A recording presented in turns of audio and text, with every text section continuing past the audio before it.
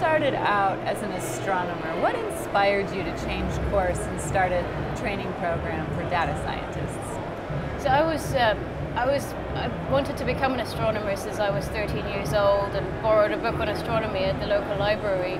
So it was a straight career for me to become a PhD and, and to start that career.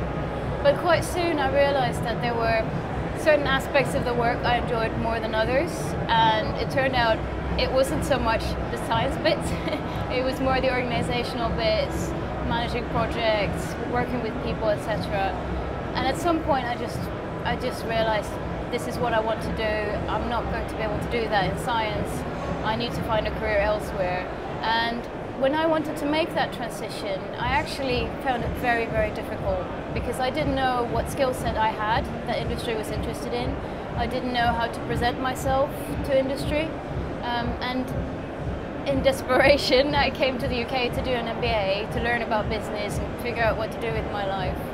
And so it was in thinking about that challenge that I had faced leaving academia that I decided to co-found this business together with my, my co-founder who comes from a recruitment background and we really started it with that passion of let's make this transition easier for this wonderful talent that we know we have in our universities. And so what's different about your program's called S2DS, correct? Yes. What's different about your program from other training programs? So what we do is we take these analytical PhDs and graduates who want to become data scientists get them to work on projects with companies for five weeks and thereby try to commercialize those skills that they have. And I think there are three key differences with our program compared to others. Uh, we are very commercial in our focus. It's all about getting them to work with companies, with commercial tools, with commercial data. We are very large, so we have a big alumni. We have about 200 alumni already. We're going to have 300 at the end of the year, so that's a great network that they join. And really, one something we're very proud of is our diversity. So we have, for this summer, for example, coming into the program, we have 30 nationalities. We have about 35, 40% female on the program. We have 18, 20 different disciplinary backgrounds, so a very diverse group. And we feel that this adds so much to, to their learning and also to their future careers. And in your journey to create the program, what kinds of challenges did you face and were there any surprises?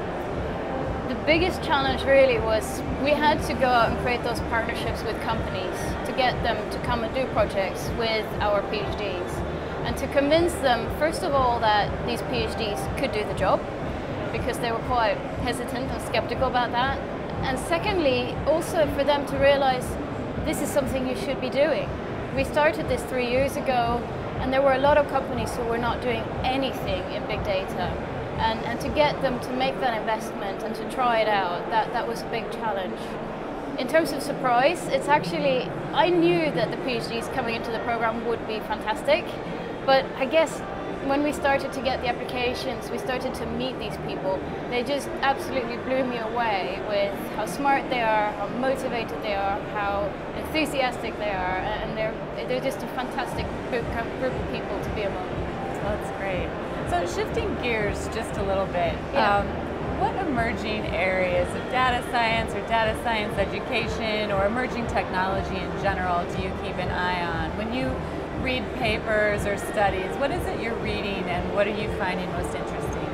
So I'd, say two things. Uh, one is artificial intelligence. That's on everyone's mind right now after DeepMind, with beating, beating um, Lee Sedol in Go, etc. Um, that's a big topic coming up.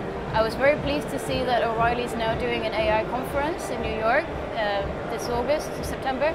Um, looking forward to hopefully going there and, and learning more about it. The other thing that's more local here possibly is that um, the government here is doing a lot around skills in, in this sector. There's a lot of work. Um, the government recently set up a task force to really examine where is the skills gap and, and what can we do about it. And I also chair a Tech UK group specifically on this topic where we work a lot around how can we get the education system to create the skills that we need. So, so those are two separate issues that, that I like to keep an eye on. And so to close with something just a little more personal, what people or projects are you following? What, what are you finding personally interesting these days? Um, Actually, the, the, something I'm quite interested in the more uh, esoterical aspect of data. There was a great exhibition here in London last autumn about big data and art and big data and visualizations. And I, I, I always get amazed by what you can do with a very creative mind and how you can visualize data in exciting ways, in ways that reaches the public and, and makes them curious to, under, to understand more. Uh, and the other area is that we're also very much involved with is getting more charities to use their data. So we're working with DataKind, for example, here in the UK, and we're also working directly with charities in helping them use their data for good and getting good value out of that and helping people with it. So those are two more personal things maybe that I'm quite excited about. Well, thank you very much for talking with me today. This has been fun. Thank you. It's great to be here. Always great to be at the Strata Conference.